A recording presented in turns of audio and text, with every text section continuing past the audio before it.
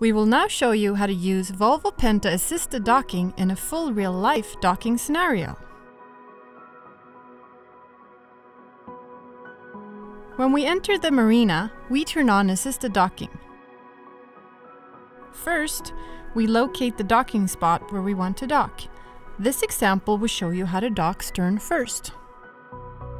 Now, when we know where we want to dock, we move forward by pushing the joystick forward.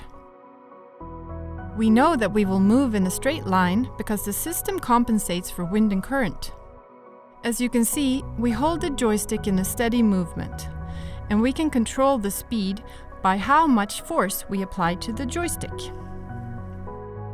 Now when we are in front of the dock spot, we want to rotate the boat. We let go of the joystick to pause, and let the system find its position before we do the next movement. We rotate around the position by twisting the joystick. The faster we twist, the faster the rotation. With assisted docking, you normally don't have to apply high force, because of the precision and that the boat keeps its position. You can move slowly. When the stern is in position, we push the joystick backward.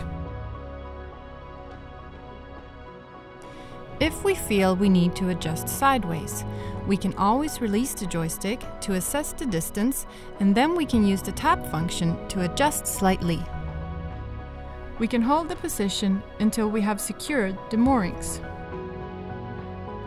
When docking sideways against the dock, we get in position by turning the joystick to adjust the heading to be fully parallel with the dock. We can fine-tune our alignment with a quick twist. We either tap to get in position against the dock, or move in a slow, continuous movement until the boat has reached the dock.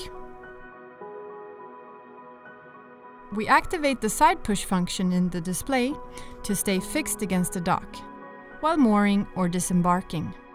Be careful with mooring lines and spinning propellers. Assisted docking gives any captain the confidence to maneuver a boat in crowded marinas, enabling easy boat docking in challenging conditions.